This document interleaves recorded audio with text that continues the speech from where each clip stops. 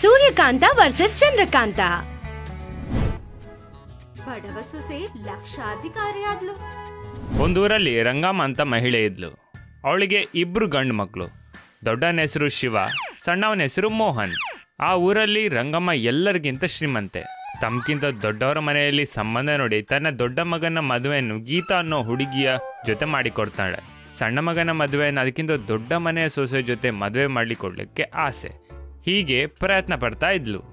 ಹೀಗೆ ಸಣ್ಣ ಮಗನ ಮದುವೆ ಬಗ್ಗೆ ಫೋನ್ನಲ್ಲಿ ಈ ರೀತಿ ಮಾತಾಡ್ತಿರ್ತಾಳೆ. ಆ ಸುಶೀಲಾ ಹೇಳೆ, ಚಿಕ್ಕವನ್ಗೆ ಮದ್ವೆ ಸಂಬಂಧ ನೋಡ್ತಿದ್ಯಂತಲ್ವಾ ಇಲ್ಲಿ ನಮ್ಮೂರಲ್ಲಿ ಒಂದು ಹುಡುಗಿ ಇದ್ದಾಳೆ. ತುಂಬಾ ಒಳ್ಳೆ ಹುಡುಗಿ ಕಣೆ. ಆ ಹುಡ್ಗಿ ನೋಡಕ್ ತುಂಬಾ ಚೆನ್ನಾಗಿರ್ತಾಳೆ. ಹುಡುಗಿ ಚೆನ್ನಾಗಿರೋದ್ ಮಾತ್ರ ಅಲ್ಲ, ಆಸ್ತಿ ಚೆನ್ನಾಗಿರ್ಬೇಕು. ಆಸ್ತಿ ಎಷ್ಟಿದೆಯೋ ಹೇಳು. ಆಸ್ತಿ ಅಂದ್ರೆ ಅಷ್ಟೇನಿಲ್ಲ. ಎರಡ್ ಎಕರೆ ನೆಲ ಇದೆ. ಹುಡ್ಗಿ ಚೆನ್ನಾಗ್ ಓದಿದಾಳೆ, ತುಂಬಾ ಬುದ್ಧಿವಂತೆ. ಆಸ್ತಿ ಇಲ್ದೇ ಇರುವಾಗ ಹುಡ್ಗಿ ಹೆಂಗಿದ್ರೆ ಏನು? ಅದೇನ್ ರಂಗಮ್ಮ, ಹಿಂಗ್ ಹೇಳ್ತಿದ್ಯಾ? ಹುಡುಗಿ ಬುದ್ಧಿವಂತೆ ಆಗಿದ್ರೆ ಸಾಕು ಅನ್ಕೊಳ್ಳೋ ಕಾಳ ಇದು. ನೀನೇನಂದ್ರೆ ಆಸ್ತಿ ಬೇಕಂತಿದ್ಯಾ? ಹೌದು ನನ್ಗಂಗೆ ಬೇಕಾಗಿರೋದು. ಆತರ ತರ ಸಂಬಂಧ ಏನಾದ್ರೂ ಇದ್ರೆ ಹೇಳು, ಒಪ್ಕೋತೀನಿ. ಹೀಗೇಳಿ ಫೋನ್ ಇಟ್ಟು ಬಿಡ್ತಾಳೆ. ರಂಗಮ್ಮ ಹೇಳ್ದಾಗೆ ಶ್ರೀಮಂತ ಹುಡುಗಿನ ಹುಡುಕ್ತಾ ಇದ್ಲು. ಹೀಗೆ ದಿನ ಕಳೀತಾ ಇತ್ತು. ಒಂದಿನ ರಂಗಮ್ಮ ಹಾಲ್ನಲ್ಲಿ ಕೂತು ಹುಡುಗಿಯರ ಫೋಟೋ ನೋಡ್ತಾ ಮೋಹನ್ ಮೋಹನ್. ಈ ರೀತಿ ತನ್ನ ಮಗ ಮೋಹನನ್ನು ಕರೀತಾಳೆ. ಮೋಹನ್ ಉತ್ತರಿಸೋದಿಲ್ಲ. ಆಗ ಗೀತಾ ಬಂದು ಅವನು ಮನೇಲಿಲ್ಲ ಅತ್ತಿಯಮ್ಮ. ಇಲ್ವಾ? ಎಲ್ಲೋಗಿದ್ದಾನೆ? ಹೀಗೆ ಹೇಳ್ತಾ ಅಂಗಳದ ಕಡೆ ನೋಡ್ತಾಳೆ. ಮೋಹನ್ ರಾಣಿಯನ್ನೋ ಹುಡುಗಿ ಜೊತೆ ಮದುವೆಯಾಗಿ ಅಂಗಳದಲ್ಲಿ ಬಂದು ನಿಂತ್ಕೊಂಡಿದ್ದ.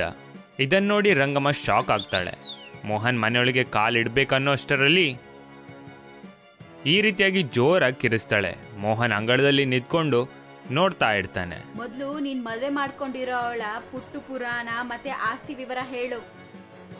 ಇವಳ ಹೆಸರು ರಾಣಿ ಅಂತಮ್ಮ. ಇವಳ ಹತ್ರ ಯಾವ ಸಂಪತ್ತು ಕೂಡ ಇಲ್ಲ. ಹಾಗಾದ್ರೆ ನಿನ್ಗೆ ಈ ಮನೆಯಲ್ಲಿ ಸ್ಥಾನ ಇಲ್ಲ.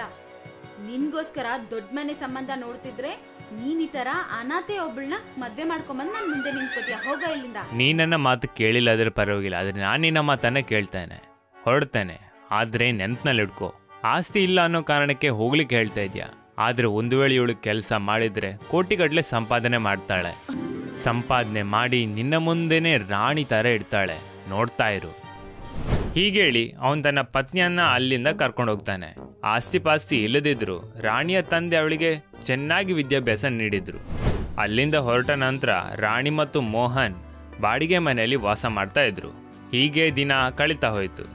ಮೋಹನ್ ಒಬ್ಬ ಕಾರ್ಮಿಕನಾಗಿ ಕೆಲಸ ಮಾಡ್ತಿದ್ದ ಮತ್ತು ರಾಣಿ ಕೆಲಸ ಹುಡುಕ್ತಾ ಇದ್ಲು.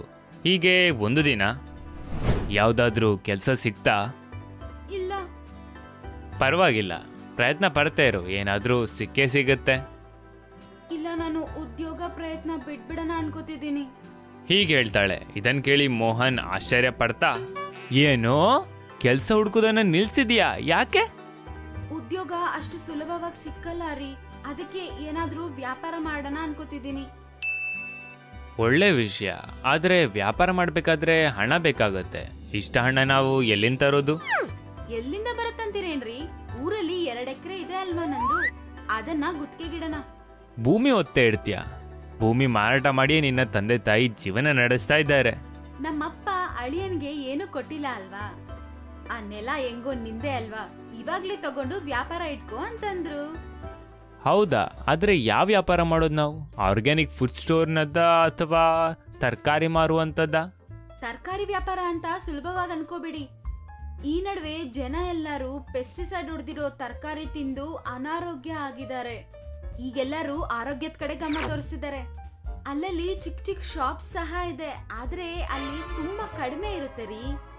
ಜನ ಯಾವ್ದು ಕೇಳಿದ್ರು ನಾವ್ ಇಲ್ಲ ಅನ್ಬಾರ್ದು. ಆ ತರ ಆಗಿ ಇಡ್ಬೇಕು ರೀ. ಆಗ ಕ್ವಾಲಿಟಿ ಜೊತೆ ವೆರೈಟಿ ಸಿಗುತ್ತಂತ ಜನ ಎಲ್ಲರೂ ಅಲ್ಲೇ ಬರ್ತಾರೆ ರೀ. ಚೆನ್ನಾಗಿದೆ. ಸರಿ, ಹಾಗೆ ಮಾಡೋಣ. ಈ ರೀತಿ ಹೇಳ್ತಾನೆ. ಹೀಗೆ ಇಬ್ರು ಹಳ್ಳಿಗೆ ಬಂದು ತಮ್ಮ ಭೂಮಿಯನ್ನ ಅಡವಿಟ್ಟು ಹತ್ತು ಲಕ್ಷ ತಮ್ಮ ಕೈಗೆ ತಗೊಳ್ತಾರೆ. ಆ ಹಣದಿಂದ ಒಂದು ಕಾಂಪ್ಲೆಕ್ಸನ್ನು ಬಾಡಿಗೆ ತಗೊಂಡು ಪಕ್ಕದಲ್ಲಿರುವಂತಹ ಜೈವಿಕ ವ್ಯಾಪಾರ ಮಾಡುವಂತಹ ಅಂಗಡಿಯಿಂದ ಎಲ್ಲ ರೀತಿಯ ಫಸಲುಗಳನ್ನು ತೆಗೆದುಕೊಂಡು ಅದನ್ನು ತಮ್ಮ ಅಂಗಡಿಯಲ್ಲಿಟ್ಟು ವ್ಯಾಪಾರ ಮಾಡ್ತಾರೆ. ರಾಣಿ ಯೋಚನೆ ಮಾಡಿದ ಪ್ರಕಾರ ತುಂಬ ಜನ ಬರ್ಲಿಕ್ಕೆ ಶುರು ಮಾಡಿದರು. ನೋಡ್ತಾ ನೋಡ್ತಾ ಇದ್ದಾಗಲೇ ಎಲ್ಲ ವಸ್ತುಗಳು ಖಾಲಿಯಾಗಿಬಿಟ್ಟಿತ್ತು. ಇನ್ನೂ ಸಾಮಗ್ರಿಗಳನ್ನು ತಂದು ವ್ಯಾಪಾರ ಮಾಡ್ತಾಯಿದ್ರು ಹೀಗೆ ಆರು ತಿಂಗಳು ಕಳೆಯುತ್ತೆ.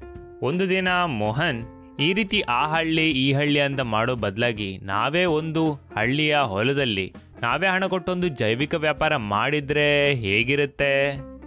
ಒಳ್ಳೆ ಯೋಚನೆ ರೀ. ತಕ್ಷಣ ಊರಲ್ಲಿ ಯಾರತ್ರಾದ್ರೂ ಕಾಂಟ್ರಾಕ್ಟ್ ತಗೊಂಡು ಮಾಡ್ಬಿಡೋಣ. ಈ ರೀತಿ ಯೋಚನೆ ಮಾಡ್ತಾರೆ. ಯೋಚನೆ ಮಾಡಿದ ಪ್ರಕಾರ ಒಬ್ಬ ರೈತನ ಹತ್ರ ಮಾತನಾಡಿ ಎಲ್ಲ ರೀತಿಯ ಫಸಲನ್ನ ಬೆಳೆಸ್ತಾರೆ. ಹೀಗೆ ದಿನ ಕಳೀತಾ ಇರುತ್ತೆ. ಒಂದಿನ ರಾಣಿಯ ಎಲ್ಲ ಫಸಲುಗಳು ಬೆಳೆದು ಬಿಡುತ್ತೆ. ಆಗ ರೀ ನಮ್ ವ್ಯಾಪಾರ ಶುರು ಮಾಡೋ ಟೈಮ್ ಬಂದ್ಬಿಡ್ತು ರೀ. ಅಂದ್ರೆ? ಸಿಟಿಯಲ್ಲಿ ಮೇನ್ ಏರಿಯಾ ಅಲ್ಲಿ ಇನ್ನೂ ಎರಡ್ ಶಾಪ್ಸ್ ಇಡೋಣ. ಹೀಗೆ ಹೇಳ್ತಾಳೆ. ಮೋಹನ್ ಕೂಡ ಹಾ ಅಂತ ಹೇಳ್ತಾನೆ. ಯೋಚನೆ ಮಾಡಿದ ಪ್ರಕಾರ ಅವರ ವ್ಯಾಪಾರವನ್ನ ವಿಸ್ತರಿಸ್ತಾರೆ. ಹತ್ತು ಹಳ್ಳಿಗಳಲ್ಲಿ ಮಾತನಾಡಿ ಜೈವಿಕ ವ್ಯಾಪಾರವನ್ನ ಮಾಡ್ತಾ ಇರ್ತಾರೆ. ಹೀಗೆ ಐದಾರು ವರ್ಷ ಕಳೆದು ಹೋಗುತ್ತೆ. ರಾಣಿ ತನ್ನ ಗಂಡನ ಜೊತೆ ಲಕ್ಷಾನುಗಟ್ಲೆ ಸಂಪಾದನೆ ಮಾಡ್ತಾ ಖುಷಿಯಾಗಿರ್ತಾಳೆ ರಾಣಿಯ ಅತ್ತೆ ರಂಗಮ್ಮ ರಾಣಿಯ ಬಗ್ಗೆ ಎಲ್ಲಾ ವಿಷಯಗಳನ್ನ ತಿಳ್ಕೊಳ್ತಾ ಇದ್ಲು. ಒಂದಿನ ಸುಶೀಲಾ ಅನ್ನೋ ಮಹಿಳೆ ರಂಗಮ್ಮ ಹತ್ರ ಬಂದು, ಏನ್ ರಂಗಮ್ಮ, ಹೆಂಗಿದ್ಯಾ? ಓ, ನೀನಾ? ಹೇಳೆ? ಸುಮ್ನೆ ನೋಡೋಗೋಣ ಅಂತ ಬಂದೆ ಬಿಡು. ಹೌದು, ನಿನ್ ಮಗನ್ಗೆ ಒಂದ್ ಸಂಬಂಧ ಇದೆ. ತುಂಬಾ ಒಳ್ಳೆ ಹುಡುಗಿ, ತುಂಬಾ ಬುದ್ಧಿವಂತೆ ಅಂತ ಹೇಳ್ದೆ ಅಲ್ವಾ? ಇವಾಗ ಕತೆ ಯಾಕ್ ಬಿಡೆ? ಯಾಕೆ ಅಂತ ಏನು? ಆ ಹುಡುಗಿ ಯಾರೋ ಹುಡುಗನ ಲವ್ ಮಾಡಿ ಮದುವೆ ಮಾಡ್ಕೊಂಡ್ಲಂತೆ ಅತ್ತೆ ಮಾವ ಸಹ ಮನೇಲಿ ಸೇರ್ಸಿಲ್ಲ ಅಂತೆ. ಪಟ್ನಕ್ ಹೋಗಿ ಏನೋ ಆರ್ಗ್ಯಾನಿಕ್ ಸ್ಟೋರ್ ಇಟ್ಕೊಂಡು ಲಕ್ಷ ಗಟ್ಲೆ ಸಂಪಾದನೆ ಮಾಡ್ತಿದಾರಂತೆ. ಹೀಗೆ ಹೇಳ್ತಾಳೆ. ಇದನ್ ಕೇಳಿದ ರಂಗಮ್ಮ ಶಾಕ್ ಆಗ್ತಾಳೆ. ರಂಗಮ್ಮನ ಮುಖ ನೋಡಿದಂತಹ ಸುಶೀಲಾ ನೀನ್ ಹೇಳ್ತಿರೋದು ನನ್ ಮಗ ಮದ್ವೆ ಮಾಡ್ಕೊಂಡಿದ್ದ ಹುಡ್ಗಿ ಬಗ್ಗೆನೇನಾ? ಹೀಗೆ ಹೇಳ್ತಾಳೆ. ಇದನ್ ಕೇಳಿದ ಸುಶೀಲಾ ಶಾಕ್ ಆಗ್ಬಿಡ್ತಾಳೆ. ಹೌದಾ? ನೋಡ್ದೇನೆ ವಿಧಿ ಎಷ್ಟು ವಿಚಿತ್ರವಾದದ್ದು. ಎರಡ್ ಎಕರೆ ಇಟ್ಕೊಂಡು ನನ್ ಮನೆ ಸೊಸೆ ಏನೇ ಅಂತಂದೆ. ಈಗ ಆ ಎರಡೆಕರೆನೆ ಲಕ್ಷಾಧಿಕಾರಿ ಆಗಿದೆ. ಹತ್ತೂರಲ್ಲಿ ತುಂಬಾ ಜನ ಹತ್ರ ವ್ಯವಸಾಯ ಮಾಡಿಸಿದಾಳೆ. ಬುದ್ಧಿ ಇರೋರ್ಗೆ ಆಸ್ತಿ ಏನು ಬೇಕಾಗಿಲ್ಲ ಅಲ್ವಾ ಅತ್ತಿಗೆ? ನಾದ್ನಿ ಅಂತ ಕೇಳ್ತಿದ್ದಾಗೆ ರಂಗಮನಿಗೆ ಆಶ್ಚರ್ಯ ಆಗುತ್ತೆ. ಅತ್ತಿಗೆನಾ? ಹೌದು ಆ ರಾಣಿ ನನ್ ಮಗಳು. ಅವತ್ತು ಮದ್ವೆ ಬಗ್ಗೆ ನಿಮ್ ಹತ್ರ ಮಾತಾಡಕ್ ಹೇಳಿದ್ರೆ ನಾನು ನಿಮ್ ಹತ್ರ ಆ ತರ ಹೇಳಿ ಮಾತಾಡ್ದೆ ಬಿಡಿ. ನೀವೇನೋ ಒಪ್ಕೊಂಡಿಲ್ಲ ಅಂತ ಅವ್ರ ಮದ್ವೆ ಮಾಡ್ಕೊಂಡು ಹೋಗ್ಬಿಟ್ರು. ನನ್ ಮಗಳಿಗೆ ಆಸ್ತಿ ಇಲ್ಲ ಅಂದ್ರೂ ಬುದ್ಧಿ ಇದೆ. ಆ ಬುದ್ಧಿಯಿಂದಾನೇ ಈಗ ಅವಳು ಲಕ್ಷಾಧಿಪತಿ ಆಗಿದ್ದಾಳೆ ನೀವು ಇವಾಗಾದ್ರೂ ದುಡ್ಡು ಬಿಟ್ಬಿಟ್ಟು ಮಗನ್ನ ಸೊಸೆನ ಮನೆಗ್ ಕರೀರಿ. ಏನ್ ಮುಖ ಇಟ್ಕೊಂಡ್ ಕರಿಬೇಕು? ಇವಾಗ ಕರೆದ್ರೆ ಸೊಸೆಗ್ ದುಡ್ಡು ಬಂದಿದೆ ಅದಕ್ಕೆ ಕರಿತಿದ್ದಾಳೆ ಅಂತ ಅಂತಾರೆ. ಹಂಗ ಅನ್ಸ್ಕೊಳ್ಳೋದು ಇಷ್ಟ ಇಲ್ಲ ಎಲ್ಲಿದ್ರು ಸಂತೋಷವಾಗಿದಾರಲ್ವಾ ಅದ್ ಸಾಕ್ ನನ್ಗೆ ಬಿಡಿ. ಇಷ್ಟ ಹೇಳ್ತಿದ್ದಾಗೆ ರಾಣಿ ಮನೆ ಮುಂದೆ ಬಂದು ನಿಂತು ನೀವು ನಮ್ ಜೊತೆ ಇದ್ರೆ ಅಲ್ವಾ ಅತ್ತೆ? ನಾವ್ ಸಂತೋಷವಾಗಿರೋದು. ನಡೆದಿದ್ದೆಲ್ಲ ಮರ್ತೋಗಿ ಅತ್ತೆ. ಬನ್ನಿ ಎಲ್ಲಾರು ಜೊತೆಗೆ ಇರೋಣ. ಹೀಗೆ ಹೇಳ್ತಾ ಮಗ ಮತ್ತು ಸೊಸೆಯನ್ನ ನೋಡಿದ ರಂಗಮ್ಮನಿಗೆ ಕಣ್ಣಲ್ಲಿ ನೀರು ಬಂದ್ಬಿಡುತ್ತೆ. ಅಲ್ಲೇ ಯಾಕೋ ನಿಂತ್ಬಿಟ್ಟೆ? ಒಳಗಡೆ ಬಾ. ಎಲ್ಲಾರು ಜೊತೆಗಿರೋಣ ಅಂತ ಹೇಳಿದ್ರೇನೆ ಬರ್ತೀವಿ. ಇಲ್ಲಾಂದ್ರೆ ಇಲ್ಲಿಂದ ಹೀಗೆ ಹೋಗ್ಬಿಡ್ತೀವಿ. ಆಯ್ತಮ್ಮ ಬನ್ನಿ ಒಳಗಡೆ. ಹೀಗೆ ರಾಣಿ ಮನೆಗೆ ಬಂದು ರಂಗಮ್ಮನ ಆಶೀರ್ವಾದ ತಗೊಳ್ತಾಳೆ. ಸೊಸೆಯ ಒಳ್ಳೆತನನ ನೋಡಿ ರಂಗಮ್ಮ ಬದಲಾಗ್ತಾಳೆ. ತನ್ನ ಸೊಸೆ ಮತ್ತು ಮಗನ ಜೊತೆ ಚೆನ್ನಾಗಿ ಬಾಳ್ ಕೆಲಸಕ್ಕೆ ಕೆಲ್ಸಕ್ಕೆ ಸೂರ್ಯಕಾಂತಕ್ಕೆ ಯಾವಾಗ್ಲೂ ಕೋಪ. ಎಷ್ಟು ಹೇಳಿದ್ರು ಅವಳಿಗೆ ಬುದ್ಧಿನೇ ಬರ್ತಿರ್ಲಿಲ್ಲ. ಅವಾಗ ಅತ್ತೆ ಹೇಳ್ದಾಗ ಮಾತ್ರ ಒಳ್ಳೆ ಹೇಳ್ತಾರ, ಸರಿ ಅತ್ತೆ ಸರಿ ಅತ್ತೆ ಅಂತ ತಲೆ ಅಲ್ಲಾಡ್ಸೋದ್ ಮಾತ್ರ ಮಾಡ್ತಿರ್ತಾಳೆ.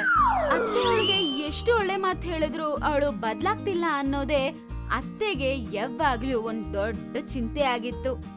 ಹಂಗೆ ದಿನ ಕಳೀತಾ ಇತ್ತು. ಒಂದಿನ ಸೂರ್ಯಕಾಂತ ಹಾಲಲ್ಲಿ ಕುತ್ಕೊಂಡು, ಎಲ್ಲೋದ್ಲಿ ಅವಳು ಎಲ್ಲೂ ಕಾಣಿಸ್ತಾ ಇಲ್ಲ? ಚಂದ್ರ?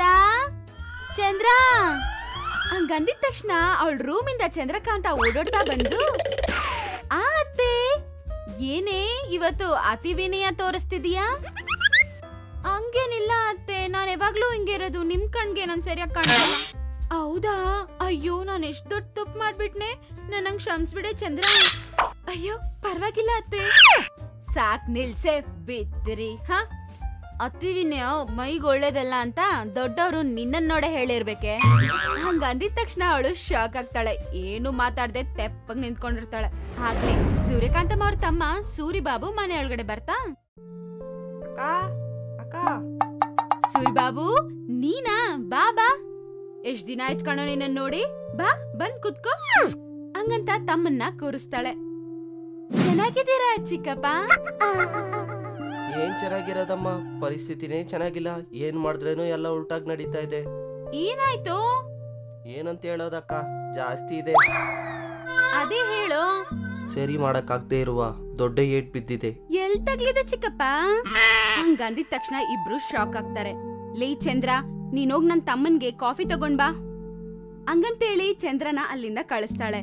ಚಂದ್ರ ಅಲ್ಲಿಂದ ಹೋದಂಗೆ ಹೋಗಿ ಅಡ್ಗೆ ಮನೆ ಹತ್ರ ನಿಂತ್ಕೊಂಡು ಅವ್ರ ಮಾತಾಡೋದೆಲ್ಲ ಕೇಳ್ತಿರ್ತಾಳೆ. ಆ ಈಗ ಹೇಳೋ.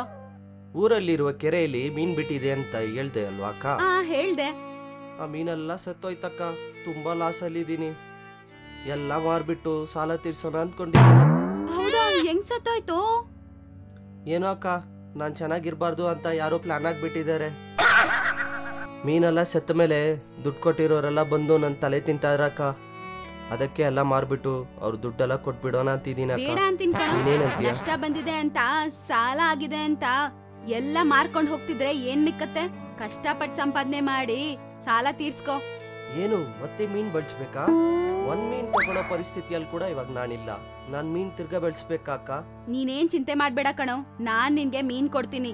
ತಗೊಂಡೋಗಿ ಅದನ್ನ ಬೆಳ್ಸು. ಹಂಗಂತ ಹೇಳಿ